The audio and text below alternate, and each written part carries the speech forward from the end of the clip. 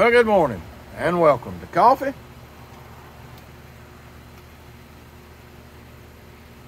and Devotion with Pastor Mike. Today's November the 18th, a prayer of blessing.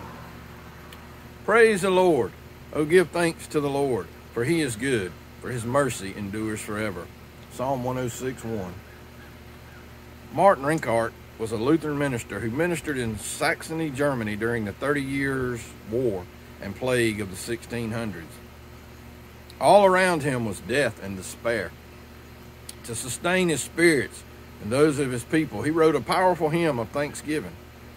It may be the only known hymn to include the word perplexed, for in the second stanza, Rinkart prayed, Oh, may this bounteous God keep us in his grace and guide us when we're perplexed. Here's the first stanza.